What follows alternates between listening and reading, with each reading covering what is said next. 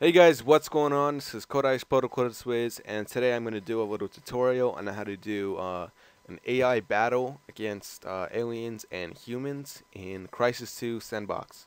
I'm going to try to do this fast because uh, last video I made was like 12 minutes and I just deleted that and it, it took way too long. I took way too long explaining everything, so now I'm going to try to do this fast um, and just let you guys know, this is my first tutorial ever. I've never done a tutorial before, so uh, excuse me if I sound noobish or if I, you know, don't sound professional. And also, I'm not American, so my grammar is not going to be perfect. But anyways, let's start.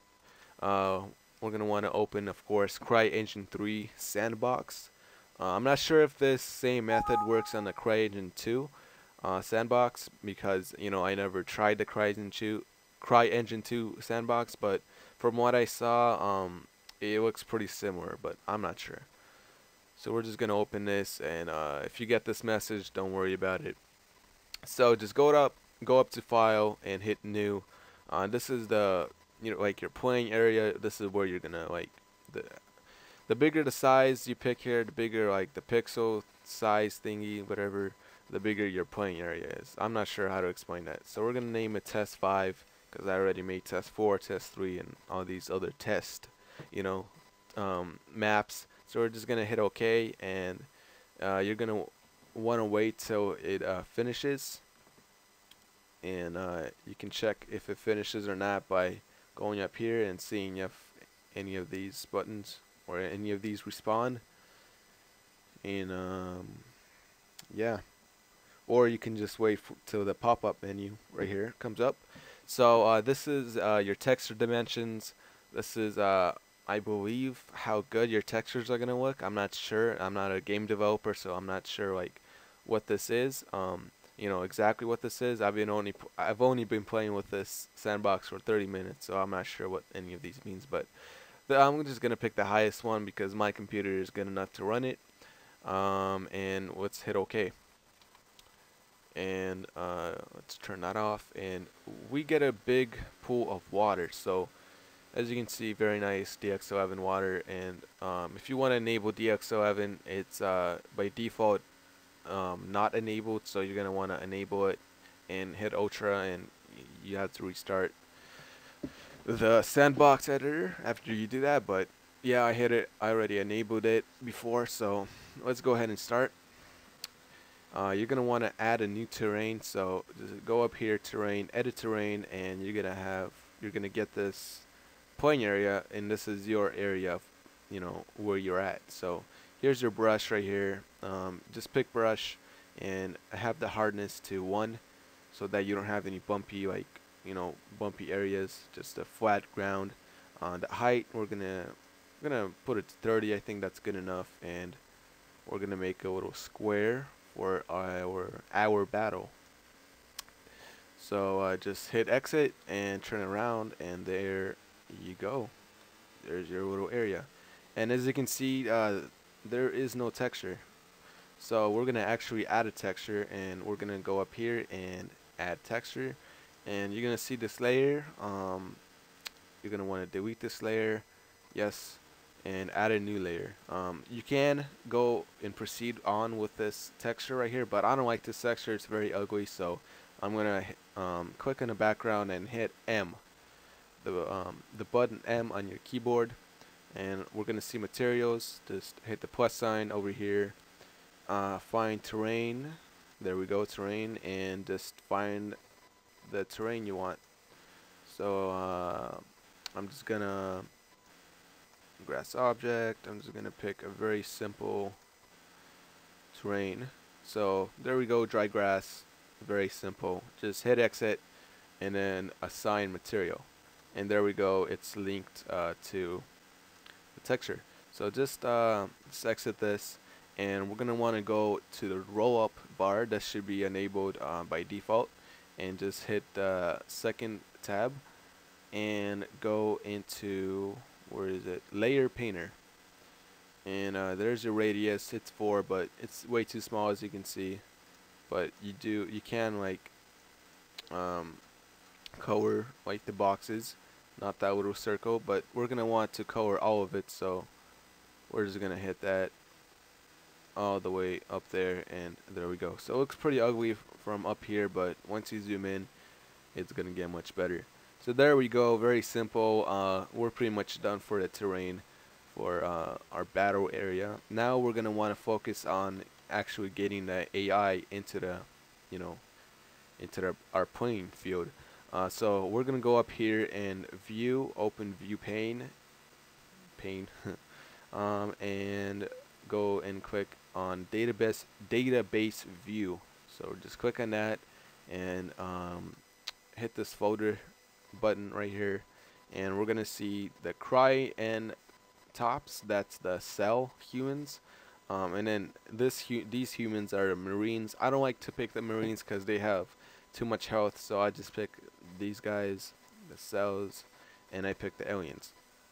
Uh, then you're just gonna want to close this and go up here to the roll up bar and pick the first tab and go to archetype entity. So just open both of them up or one of them it doesn't really matter.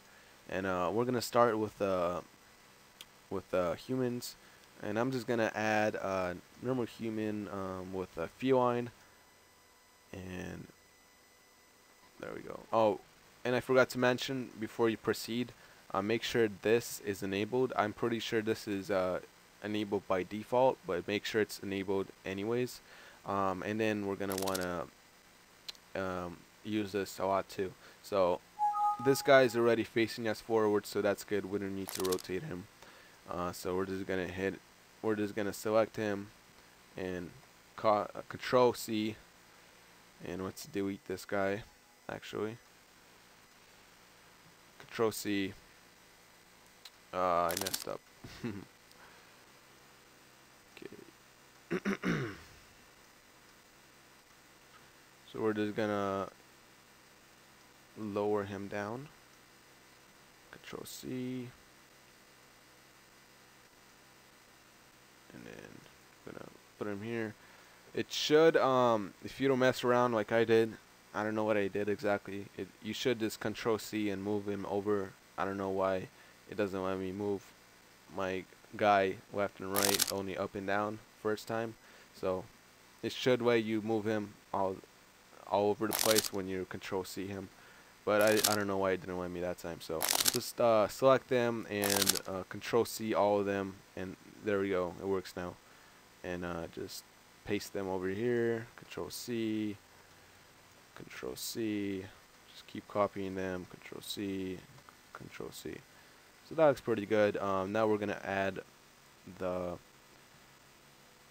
the aliens. So just go up here to archetype entity back up there and we're gonna add some of the grunts the weak ones. Uh, so let's uh, let's put them over here. So just drag it over here. And there's my guy. We're gonna delete him and uh, we didn't put him in the right place. There we go. So there we go. There's my entity. So we're gonna want to ro rotate him and there we go. Now control C. There we go. It works now. Control C. We're just gonna select them all. Control C. Control C. And that looks good enough. Uh, the grunts are a lot stronger than the humans so I'm gonna add less of the grunts than the humans. So that's it. We're pretty much done. Um, and you know of course if you want to add more like the pinger or some stalker or you know any of the special other like you know entities or other AI units just go ahead and do that. Um, and also a lot of there's this one mistake that I've seen on, on video is uh, you have to go into the game to uh, watch them fight. Like if I press control G they, this is what they usually do, and then they press E. And that's how they watch them fight until their uh, energy is depleted. But you don't have to do this. You can just watch them from here like it's uh, freaking mode or it's.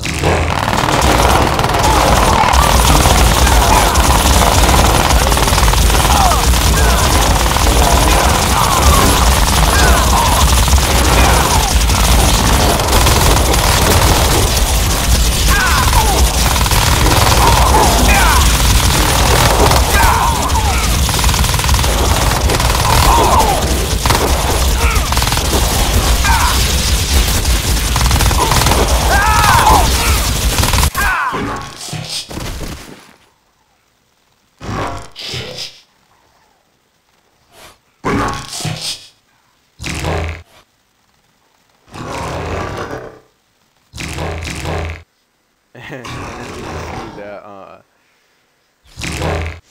humans don't even compare to the grunts.